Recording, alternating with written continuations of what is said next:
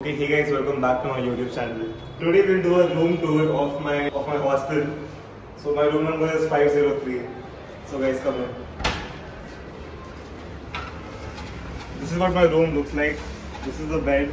This is where I dry all my clothes. Because because up there people steal clothes. We can't hang it up there. Okay, come in guys. I'll close the door.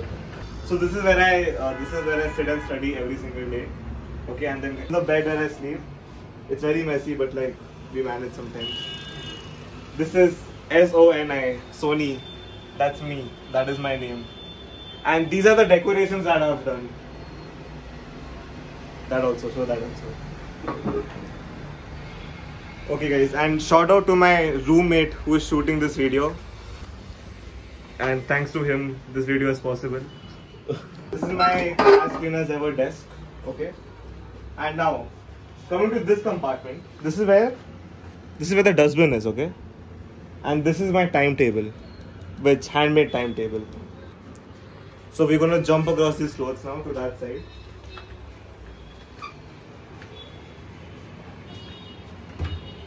and this is the bathroom where where this and this happens.